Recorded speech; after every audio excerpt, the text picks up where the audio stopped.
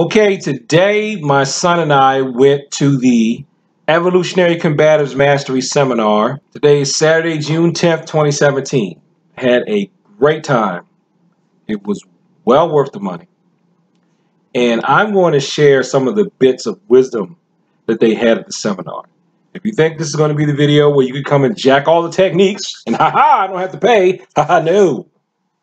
A lot of times karate, people just think of karate as a striking art. You know, they see a lot of kicks, punches, chops, but they don't understand it's a lot of grappling in there. Um, and I'm pretty much, I'm gonna pull it straight from the katas or forms, okay?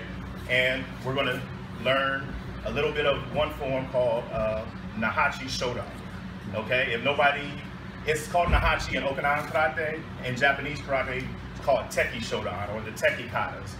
In Taekwondo, that form is called Chulji. Not all schools use Chulji. But if you want to know what the Korean name for it, it's Chulji. Um, it's a very short kata. I'm going to demonstrate it in a little bit um, once I finish, finish talking. It's a very short kata. It's the shortest kata in our style. All right, so without further ado, I'm going to demonstrate Naihanchi. Kata! Naihanchi Shodan! Us!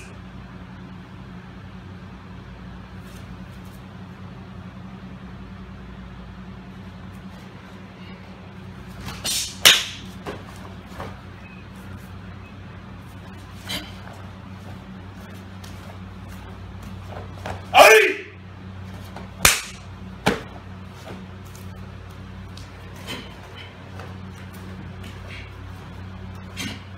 Ai!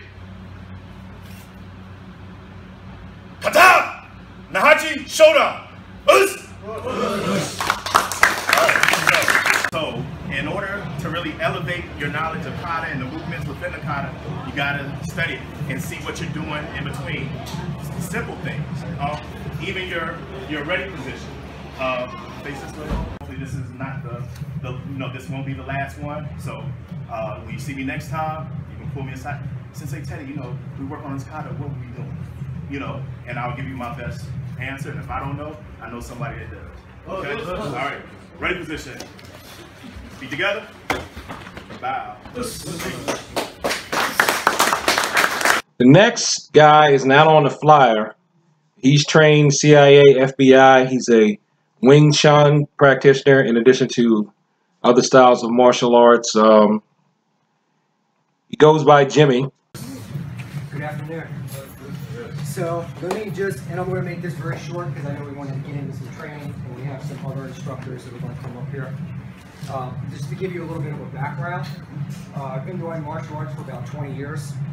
I started off with Wing Chun. I've done some Filipino, Kali, Eskrima, Panantukan, Pananjakman.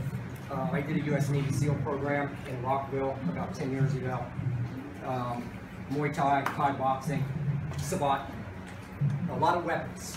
So I actually worked with, I trained members of the FBI, the field officer for the DEA, and some CIA agents about 15 years ago, before the economy got really bad, I lost that position.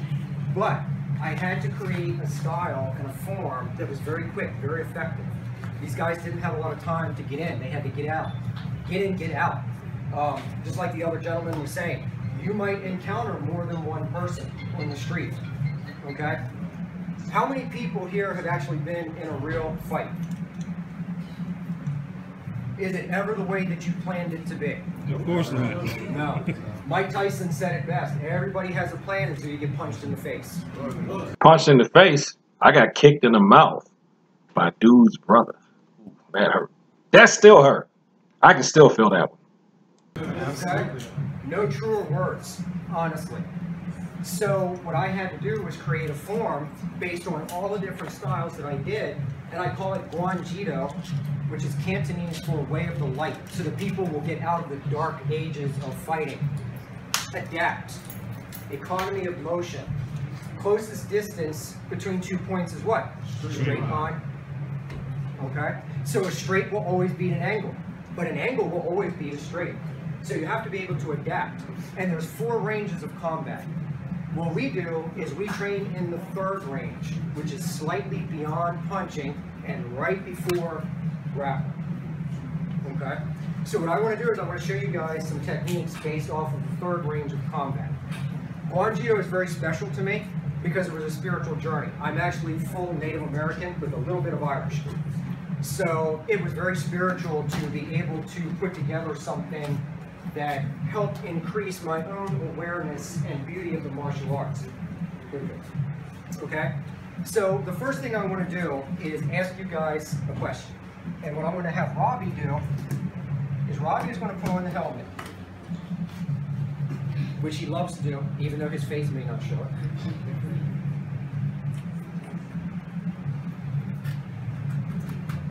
What's the most common punch on the street? Haymaker. Oh, yes, the infamous haymaker. What is the first reaction that people will do off of a haymaker? And I'm not talking about a trained fighter, somebody who knows better. I'm talking about the average guy on the street who's trying to get home from work or protect his wife or kid. What's the first thing he's going to do? Throw your hand haymaker. Right, see? I've already slipped, I move away, right? What is our answer to a haymaker? He throws his haymaker, boom. We're gonna come right down his center line. And it got it got even better from there. Poor dude in the helmet. Anyway, the next presenter is Master Justin. One of the things that we're here to do today is to teach each other. Learn, share knowledge, and exchange. So with that being said, I'm going to actually capitalize on something that uh, Jimmy and Sensei Teddy started to capitalize on, uh, well, started on at first. Um, except for, besides just the slight grappling aspect that's also involved in the martial arts, I'm going to capitalize more so on the infighting aspect. So, so I'll have uh, Master Ryan Patterson helping me out with this. Uh, just understand the fact that a lot of these fight situations will start from this point. A lot of these situations will get to this point, and everybody's swinging, hooking, as Sifu Jimmy pointed out. The haymaker being very, very popular. But at the end of the day, we're only human. We run out of gas.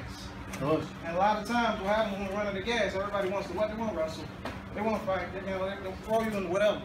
And I'm not opposed to that, I'll tell you, I'll tell you what. You fight me, you and the entire room will be one with each other. I'm using everything I know. But my thing is, what do you do? What do you do when the fight gets to this point?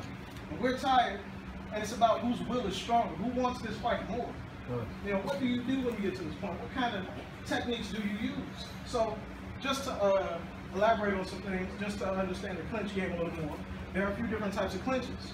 You have the double overhooks, you have underhooks, which, trust me, ladies, if I get you in there, you're going over here. Oh, face this way, for everybody. You have your single overhook. All these things right here, you even have your regular lockups, your tie clinch. All these things can lead to an inner strike, and in a movement, body control.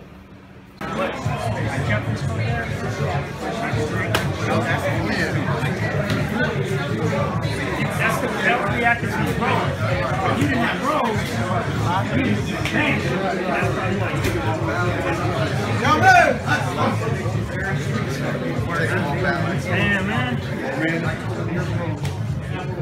I'm just going to play Master Justin introducing the next presenter because he gave a great introduction. Next up, we have a very, very special brother. I love this brother. Yeah. And well, to life, I should say. What's sir? What's?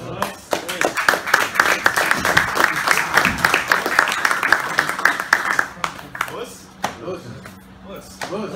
Um, since uh, she on Leslie, but Sensei's uh, just fine with me. All right. Um, been training martial arts 26 years. My instructor, my instructor is over on the side there, Professor Penn. So, hey, I get, hey, I'll just say this much. I'll say this much. I ain't that old. it's, it's all on the inside. All on the inside. I'll just say this much. I'll, uh, this is not me. This is a reflection of my teacher. All right. So, all right, uh, I'm gonna keep it real simple. All right, what's come on up? All right, my thing, uh, my thing is, when I, uh, I'm thinking of uh, in close quarters, all right? You want to elevate, all right? Somewhere in tight, and it may not go the way that you want.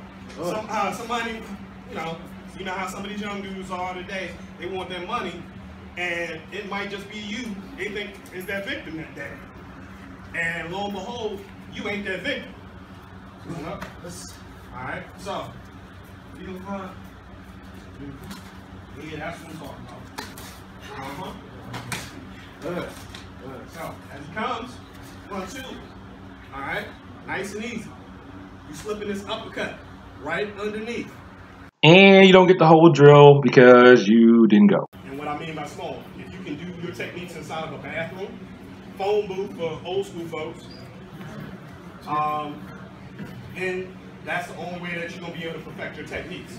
And like I said, footwork, movement is key. What's any questions? Next up was Sensei Khalil. Check him out. What? Anybody no wrong answers? Anybody? Anybody? They won't let you grab their wrist. Won't let. Yeah. Implicating what? You gotta, you gotta take Implicating compliance. Yep. I'm not gonna comply with that. I wouldn't do that. What I would do is this. This is what I'm gonna do. YouTube comments. If you're on the couch eating popcorn, commenting on how somebody else is practicing their art, then you're not gonna do anything because that's your art. So what happens is we don't program ourselves to react because we don't drill enough. So it's all about the drilling because you're trying to reprogram the reflexes, right? Okay. So um, there's no compliance. It's just that for the tori and the well-experienced toris, such as Brother Shabazz over here, they understand that when the water bumps up against a rock or a mountain, it doesn't try to get in a fight with that mountain. It just goes around that mountain or that rock. So he looks like he's chilling, like he looks like, you know, he's floating. Because he's not resisting anything that he comes up against. But combatants resist. So we're just gonna take a minute to just put this in a capsule real quick. So, um, just to make it a drill, to make it a drill. Um, that's good. Okay. So first of all, everything has a story. We'll talk all day. Doesn't matter. Bottom line is, everything should hurt. You, he punches is his energy meeting my energy, and if my energy is merging with his energy, but it's influencing his energy, then it should hurt, and I should be okay. Huh? So something as simple as this, right? Two hands going up. So, right? I have to load my traps, and then when he falls into this, I'm right there to receive it. Huh? Right, so- Sorry that got cut off. He really gave us some good things having to do with resistance and off balancing, what we call kazushi in judo. It's very, very good. The next presenter is Master Ryan. We'll see what you're gonna do. You can take him down from the front, you can take him down from the side, okay? Oh, so when you take him down from front, so you're gonna take him down this one. Go, move. Opposite side of the post. Boom, right? Yes. That's just to get someone off you, okay? Again, when we're in the guard, controlling. Now, we still have the option to strike, okay? Anything that you can think of. Standing up, you guys can do right here on the ground. You guys understand that? Anything. Your, your cleanup is your cleanup, okay? Some good stuff there. Okay. The last presenter was Senior Master Robert Sistrunk, aka Senior Master Zeke. Get here, two things that happen. Either you'll panic, you hear, or you gonna fight your way out, huh? Yep. What we gonna do? When he, he push here, strike here. Give him a little bit here, sit him down. Okay? That's so much here. Push it on. Well, you need want to take to get home, right? Be aware. There's more to sensitivity, again, than just touching hands. Being sensitive to your surroundings, where you are. I can tell probably two or three of you what you did, and I picked up on. So the event in September, I'm going to speak to all of the masters here because I like to invite them out. Because I think we're finally at that time now where we can all come together and train under one roof as one unit. Yes, sir. You know, because up until now, it's always been us on our own little islands, which is okay because we're still doing the work in the community, right? So what if we all came together? Let's go to the floor again to make this point. I got a call uh, like two days ago from a guy uh, up in Boston with his crazy accent, but he was uh, was 50 something, and he asked me, uh, "Are you one of them schools where you you have to be a young guy to do this? Because I'm not no young guy." And really, the, the answer was like no, but for him to understand it, you know, I had to let him understand where we were coming from. And if you ever have like an ailment or something like, don't let that discourage you or stop you from getting on the mat. Like, honestly, I'm offended when people don't get on the mat because nobody has a reason not to get on the mat, right? I mean, I know I'm not the only one that's fasting today, us. Okay, so what I'm saying is when you come up against when you,